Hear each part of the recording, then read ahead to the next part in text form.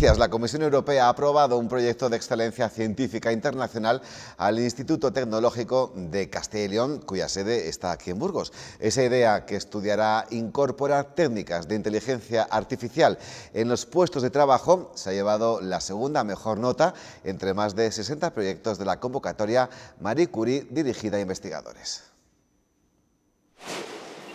ser capaces de resolver problemas en los procesos productivos, trasladando la inteligencia artificial al campo de trabajo. Los algoritmos de aprendizaje de conducta son los procesos en los que está trabajando el Instituto Tecnológico de Castilla y León. No solo hay que pensar en que hay que sustituir eh, trabajadores por robot, hay que sustituirlos en determinados sitios y hay que incorporarlos en otras partes.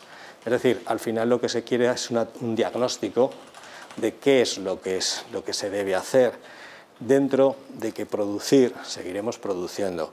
Y esa idea les ha hecho conseguir la segunda nota global más alta en un proyecto de excelencia técnica de la convocatoria internacional Marie Curie de la Comisión Europea. Trabajaremos con otras cuatro o cinco universidades en Irlanda, Inglaterra y Turquía.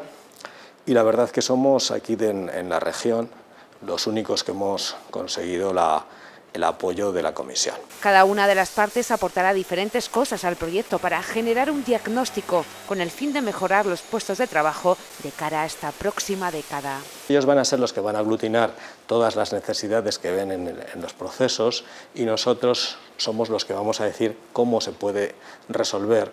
Es un proyecto a cuatro años vista, en el que Burgos tiene una consolidada posición gracias a la participación del ITCL.